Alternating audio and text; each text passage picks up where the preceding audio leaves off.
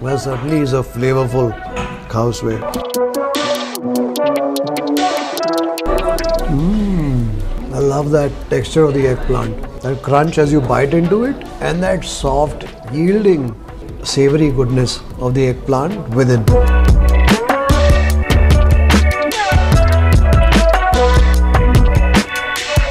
Hi folks, I'm in Indiranagar, Bengaluru today and I'm looking forward to savoring an interesting vegetarian lunch. I'm at Street Storyss Vegetarian Craft Kitchen and I've been told they do street food from around the world with their own twist. So let's go in and find out what a vegetarian meal at this Vegetarian Craft Kitchen is all about. Let's go. Hi Chef, how are you? Hi, how are you doing? I'm doing well. So I'm with my friend Chef Nishant Choubey, who's from Delhi. He flew into Bengaluru last night and he invited me for lunch. So I said I must come. It's been what a year since Street Storyss Almost, is open, almost, almost a year now. right? So Street Storyss has been open for a year. I've been hearing some interesting things about it, but haven't ventured into its doors yet. So when he called, I said, let's find out what a vegetarian meal at Street Storyss is all about. What street stories is every food has some element of story to say. Okay. So we decided that why don't we just venture out all the streets of the world and all those flavors which are very intricate, you know, and then put it in a very global format. So the so the food is from streets of the world, and that has your own spin. Absolutely, Right. absolutely. Twist is required. Is it what some would say fusion? Uh, no, I would refrain from using Fusion the word a- fusion because fusion is total confusion for me. But you know, I mean, I find that there are a lot of flavors which street also there's sometimes they lack. So you know, I decided okay, I tried that. I'm I'm I'm missing that sweetness. I'm missing that sourness. I'm missing that spiciness. Basically, food has senses. So I have tried to you know give sense to the uh, streets in the most exotic way. So he's trying to make sense relevant to the Indian palate, I suppose. Exactly. With street food from across the world, and that's what it's all about. Absolutely. You know, it takes courage to do a vegetarian-only I restaurant. agree. In Bangalore, which is a which, which, which has premier non-vegetarian spaces, it was quite a uh, number of meetings that we actually went across before we finally said okay vegetarian. It's, it was more experimental than you know finally what you see today. But uh, it's it's a global trend. I think vegetarian vegan is the trend. And uh, I'm happy doing vegetarian in this uh, restaurant, and we are we are adding more in the city. Really? Fantastic. So on that note, I can't wait to get into my vegetarian meal here at Street Storyss. But before that, I want to take a quick peek Please. into the kitchen and see what's cooking here. Most welcome. Shall we? Yeah. Let's go.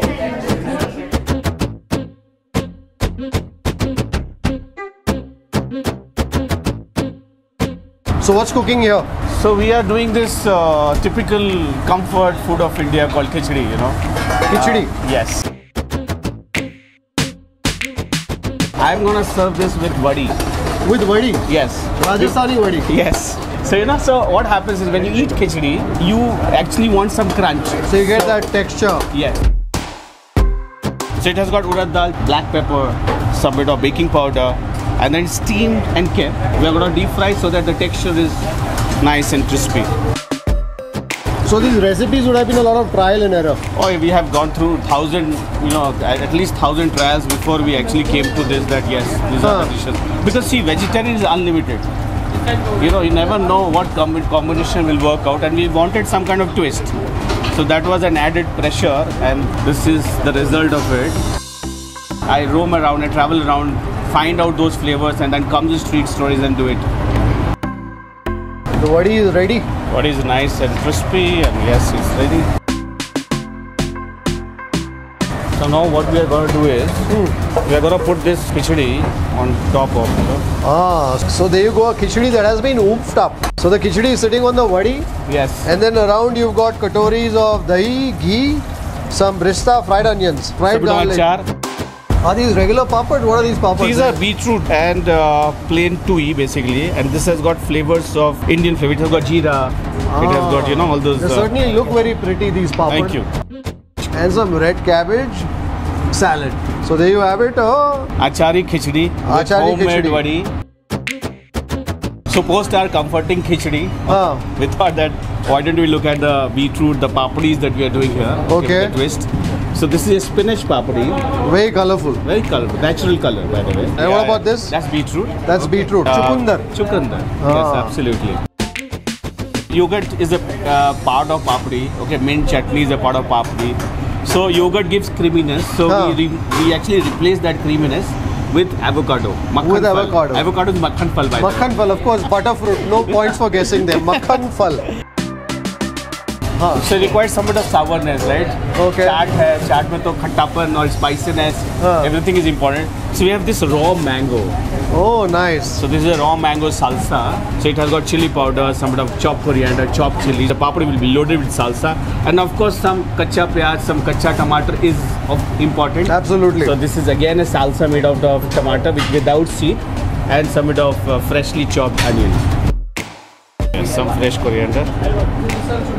That's it. Bon appetit. That's a pretty looking Bon plate, huh? Thank you. The avocado papdi chaat. Cheers, cheers, Cheers. cheers. So that papdi basically serves only to convey, transport all that to your mouth. And the moment you place it in your mouth, that papdi breaks down completely. Wow.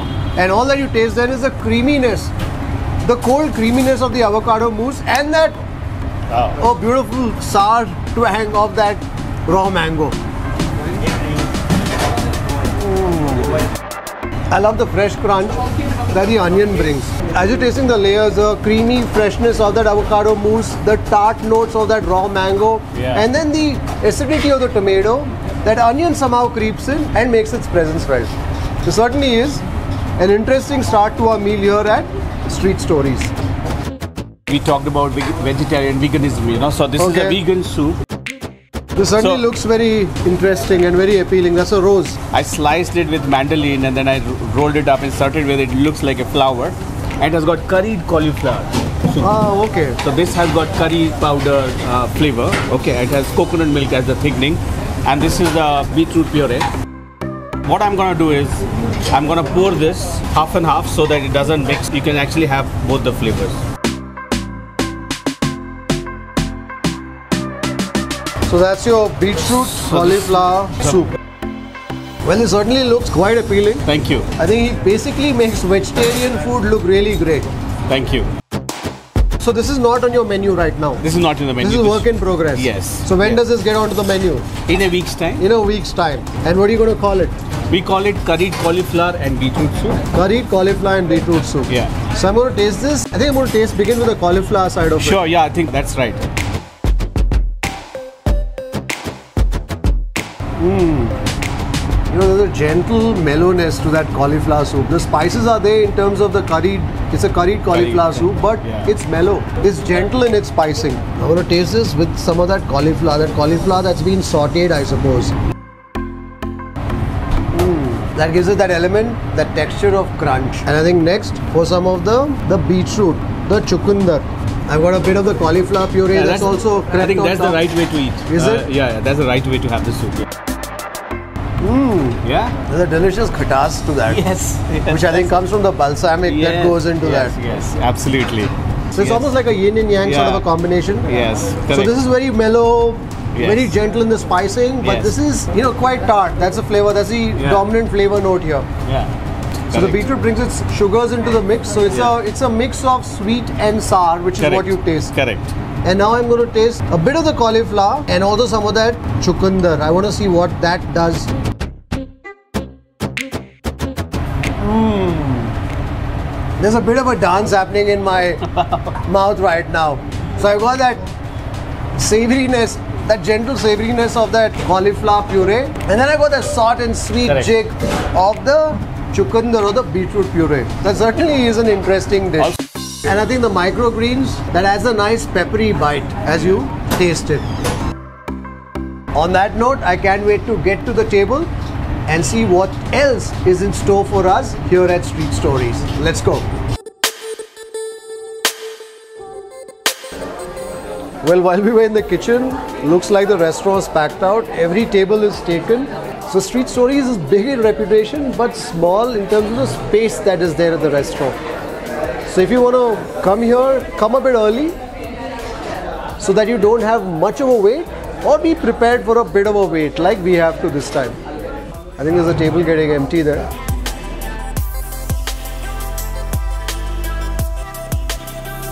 Good afternoon. Well, the menu at Street Storyss is almost like a storybook. So it's a fairly extensive menu. So I think if you're coming here the first time, good to ask. Find out what they recommend. As for me, I think the chef's got some of the dishes that he's going to be recommending. So let's see what the chef has to say. Well, it certainly is a noisy restaurant though, because the space is not very large. The pomegranate kombucha. Thank you. So we're beginning with some pomegranate kombucha. They certainly look quite appealing. You certainly taste the fermented flavors of the kombucha on the palate. Mm, but the pomegranate, especially the pomegranate kernels, gives it a nice fruity twist. So, chef, what are we tasting today? Uh, so you know you have already gone through the menu. It's quite an extensive menu, but I have chosen some bit of best out of this. Okay. Uh, I'm serving you four starters. The first one is a laping roll from Tibet. It's basically cold noodle. Okay. And when I was in Tibet, I found that there's no sweetness, so I've added some sweetness to it. So you'll, as you eat, you'll find out That's that. your take on it. Yes, absolutely. Then Thai corn cake. Because I'm very much into Southeast Asia, so I got this corn cake from there. But there you find it very grainy. Here it is very creamy. Then I have a starter called Guess the Starter. It's a Guess the starter. yes, it's basically eggplant. I'm just uh, opening it up for Oh, you. okay. As It's you reveal will- the surprise. He doesn't want me to guess, okay? so you know, so uh, you will not be able to guess the vegetable. Okay. Ah, okay. So it's it's again very Southeast Asia because I think streets are very famous in Southeast Asia. That's where exactly a lot of flavors coming from. Sounds like the right note to start our meal. here. Absolutely, sir. Oh, thank you very much. Thank you. Enjoy. Thank you, thank you. So we have our first appetizer here, which is the laping Tibetan rolls. So these are basically Tibetan rolls. Well, they look like summer rolls. If you tasted the Vietnamese or the Asian version with the rice paper, which is wrapped around vegetables. This is going to be a bit of a tricky bite because that's slippery. I'm going to ensure that I get it in my mouth in one bite. I want to get all the flavors in one bite. Hmm. The roll looks fragile, but it certainly has a strength to carry the flavors into your mouth. So there's some pickled cucumber in there, there's some watermelon, I'm told, and the aggression of that sauce. I think there's some sesame in there. You can taste the nuttiness of the sesame, some soy as well, and then of course the chili. That's what you taste. I love the fresh, chilled flavors of this roll. It is a crunch of the vegetables, the tartness that comes from the pickled cucumber, a bit of sweet, not too much, that comes from the watermelon. There's some carrot in it as well. I think the vegetables are brined or pickled, and that's what you taste. So you taste the sour taste, and then of course the sesame soy sauce, which kind of provides the fat. So although it's cold, it's a sort of dish that leaves you warm once you've tasted it. I think there's also some ginger that's gone into it, so I can certainly taste the warmth that comes from the ginger as well. Certainly is an interesting dish to begin my meal here at Street Storyss. After that, you definitely need some of this chilled kombucha just to help cool things down. Thai corn cake. Certainly a pretty plate. So when you're thinking corn cakes, you're expecting something stodgy, not something dainty, which is what this corn cake seems to be about. I think I'm going to go for this with my hand.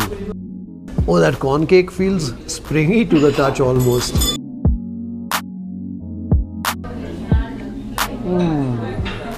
So if you're expecting to bite into corn, this is not it. You do have a bit of the bite of the corn kernels, but all that you're tasting is a lush creaminess of that corn.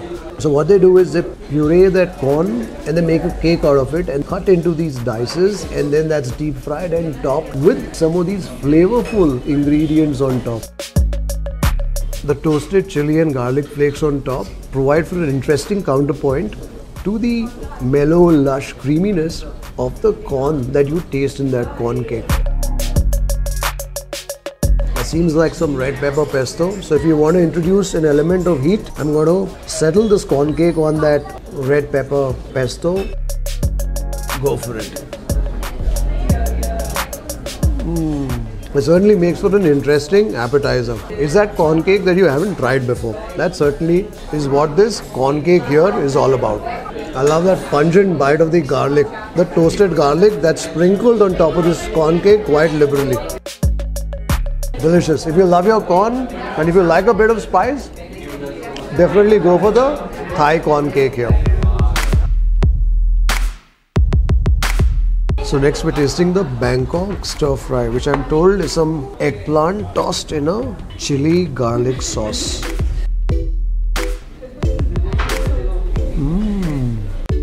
Well, this looks pretty much like a stir fry that you would expect, but when you bite into that eggplant, is when things start getting interesting. So you've got the crunch of the eggplant because it's been deep fried as you bite into it, and then you've got that soft, almost mushy, yielding texture of the eggplant. It's almost like biting into warm eggplant puree with, of course, that flavorful coating of that chili garlic sauce. This is certainly a dish that to me looked like any other Asian stir fry, but when you bite into this eggplant is when all that magic happens. We've also got some peppers here. I love that texture of the eggplant. That crunch as you bite into it and that soft, yielding, savory goodness of the eggplant within. I love this dish. Thank you. Thank you. I think what's interesting here is that crunch of the eggplant Correct. and then you bite into it, Yeah. it's soft, lush Correct. inside. Correct. And is that because you deep fry it? We deep fried it, yes. 99% of the guests don't even understand that you know they are eating eggplant. That's the essence of this dish. And, Lovely. know, I think if you're not an eggplant lover, even Correct. then I think you will love this Bangkok stir fry with that eggplant. An umami dish. It has uh, shiitake, which is cooked for four hours in a liquor, and it has cooked watermelon too. All right. It has some button mushrooms as well. People who like mushroom, this is the dish to uh, enjoy. Thank you, Chef. Thank you. Enjoy Thank you. yourself. Thank you. And I think there's plenty of garlic too that I see in this dish. So this certainly has all the makings of a flavorful dish. I want to taste that shiitake first. I think that shiitake has been poached with some aromats, so I can certainly taste the star anise because it's been poached for a length of time. It also makes it extremely soft and extremely gentle on the bite. Hmm. I think there's some balsamic that it's been poached with, so you can definitely taste the tartness of that balsamic vinegar. That watermelon is crunchy, it's also cooked, and it provides for an interesting contrast to the umami of the mushrooms. So the mushrooms have been cooked in some soy, so you're tasting loads of umami, loads of savory flavors, and also that tart sweetness that comes from the soy, and perhaps some rice wine or perhaps some mirin that goes into this. Mm. And the crunch of the onions. I'm going to get all the components of the dish in one bite. So I've got the shiitake, I've got the watermelon. I'm going to get some of the button mushrooms on top. Get some of that garlic as well. Try and see if I can ferret out some onions from somewhere, some spring onion, and also some of that microgreen to make for a complete bite of that warm mushroom salad. Hmm. I love the umami hit of the shiitake poached in that liquor. You get the salty, savory, slightly sweet flavors, and then, of course, the fruitiness of the watermelon and the bite of the onions and the pungency of the garlic. Pun unintended, that shiitake certainly makes for a meaty, savory bite. If you're a mushroom lover, this is the dish for you at Street Storyss.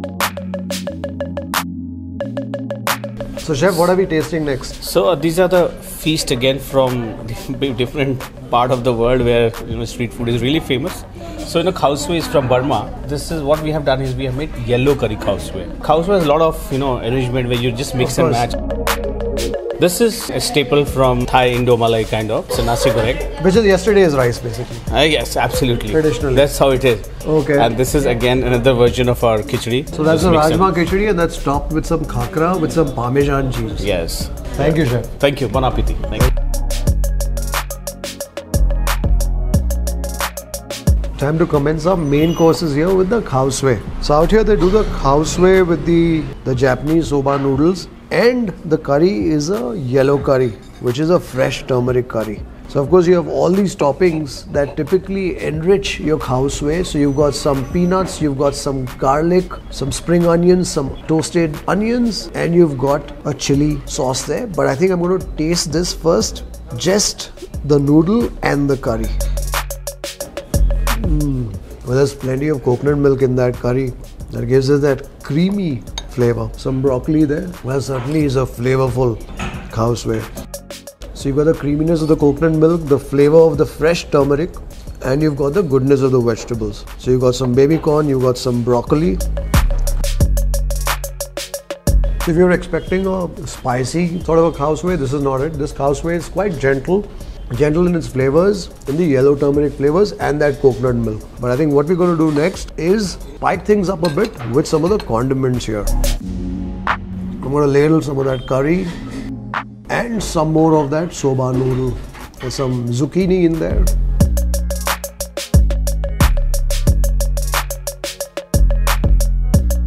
Get some of that peanut, toasted peanut, some toasted garlic. I like a suey with some flavor, with some aggression. The freshness of some spring onions, some fried onions, and some of that chili sauce. If you like it spicy, go for some more. And to balance all the flavors, some lime. The curry, the yellow turmeric curry, and the soba noodle tasted nice and mellow, but when you tasting a suey, you want to taste the aggression of all those condiments, and that's what we've got into our bowl now. Mix it all well and go for it. Hmm. And now that khao has come alive. It's singing the flavors of all the ingredients, the condiments that we've put in. So you've got the crunch of the peanuts, you've got that pungent toasty note of the garlic, you've got the freshness of the spring onions, you've got that crunchy, sweet caramelized bite of the fried onions, the tartness of the lime, and the heat of that chili sauce. I think I'm going to get some more of that chili sauce into this khao suey and some more garlic too. Not to forget the onions. Mix it all together. That's a flavorful mouthful. I think next it's time to taste the nasi goreng. I don't think I've ever tasted a vegetarian nasi goreng before, but that's what this is. Wondering what a nasi goreng would taste like, minus the egg, minus the crackers, typically prawn, or maybe some chicken. But I think because there's a black bean in it, that black bean provides its own salty hit to this nasi goreng. It enlivens this rice preparation. It's a bit dry, so perhaps best to taste it with something on the side. An interesting take on the nasi goreng. But the one dish that I've been waiting to taste is this Rajma ghee khichdi. So you've got the Rajma at the bottom of the bowl, the Rajma khichdi, you can see that right here, topped with some khakra and some parmesan. I don't know what to expect in terms of flavors, but it certainly will be interesting. Get some more of that khakra and also that parmesan. Where would a good khichdi be without some ghee? So drizzle a bit of the ghee onto the khichdi and some of the onions just to bring some textural relief and some chutney in case you feel like some. I want to taste the khichdi just by itself first. Well, that ghee certainly is making its presence felt. That's the first thing that you taste. You know, it's a very comforting sort of a dish. Was there not to like? So you've got the khichdi, which is basically with the masala, with the spices, the rajma, and then fortified with some ghee and that parmesan. So if you're a khichdi purist, this dish may perhaps take some getting used to. I just tasted the, the sweet crunchy notes of that fried onion in there. Get some of that chutney. I think this is a pudina chutney if I'm not mistaken. And if you're looking for typical khichdi flavors, well, this is not it. Certainly, the base is a khichdi, is a well-made rajma khichdi, but then you have the added components of the the khakra, the parmesan cheese. It kind of takes it in a slightly different direction, which in my opinion lifts the flavors of the khichdi a wee bit. But then there are some who may say that a khichdi is a comforting dish whose flavors need no lifting. Well, it really depends on which side of the fence you are on. To me, this is an interesting modification of the humble, everyday khichdi that mum makes at home.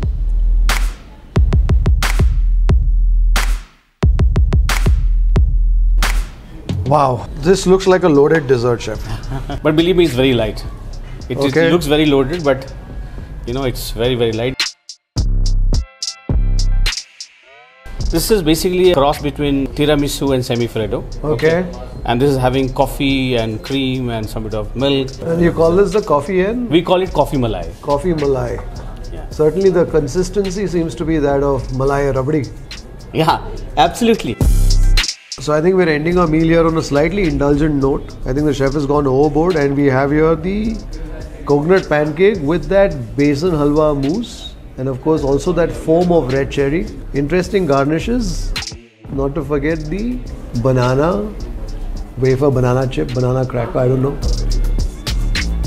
Banana chip sweetened with some powdered sugar. I want to taste the coconut pancake, which I'm told is a version of the Bengali pati shapta, minus that cherry foam first.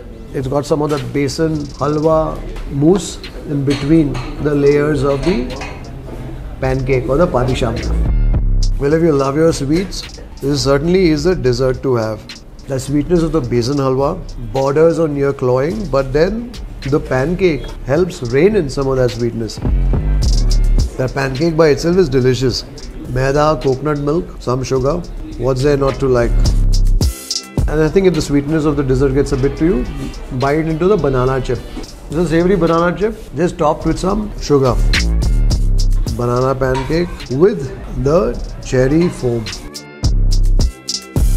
That brings in a touch of acidity. You know, sometimes when you're eating a dessert, when you're eating a sweet, there comes a point when the dessert, when the sweet feels too sweet, and at that point you want some break on your palate. And I think that's where the acidity of that foam and also some of the berry coulis that they have as a garnish on the plate helps. So what that does is that it helps that acidity helps tone down the sugary kick on your palate and helps refresh your palate allowing you therefore to go back palate refreshed for some more of that dessert. In this case, that coconut pancake with that besan halwa mousse. Mm. When you order desserts here, come in a group so you can taste and share. Because if you have one of these, I can tell you, I'm not going to be eating dinner tonight. Time to hold back on the banana pancake and go for the coffee malai. And as I'm told, is the perfect way to end your meal here. So when they said a coffee malai, I was expecting something a little more pudding-like, but this is after all a malai and therefore this texture.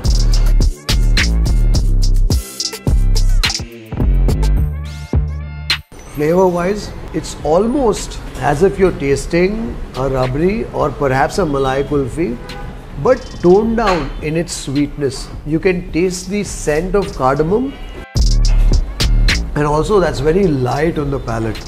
And then you have ribbons of coffee caramel that provides for that coffee hit. And if you want to break the textures on your palate, hmm, you got a grainy bite of that biscotti crumble. You know, when they said coffee malai, I was bracing myself for a decadent, heavy, sugary, malaidar dessert. But this is far removed from that. I love the flavor notes of that malai. Sweet but not too sweet. Scented with that cardamom and with the ribbons of coffee, the coffee glaze that's poured on top, that tones down, that drains in the sweetness even further. So you're tasting the hit of coffee in that coffee glaze or coffee ribbon on top. This certainly is the way to end your meal here at Street Storyss. I think it's always great when you begin your meal on a high and end on an equal high, as I've just done with this coffee malai. I've enjoyed my meal here at Street Storyss. It's interesting to come across a vegetarian restaurant, even more when you come across a vegetarian restaurant that celebrates vegetarianism by taking the dishes into a whole new dimension.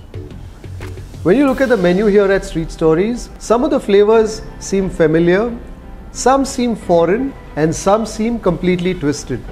Yet, when they come to your table, when they come on a plate, they all seem to make sense. And I think that's what's interesting and appealing about the fare that I've just tasted here at Street Storyss.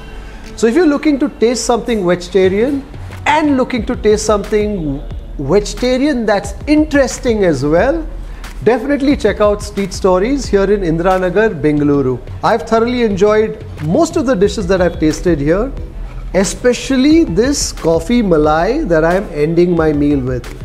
Until the next episode of Gourmet on the Road, Stay safe and happy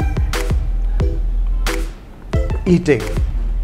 If you'd like to support the work that we do at Food Lovers TV, do consider joining our membership community on YouTube by hitting the join button below or on the home page.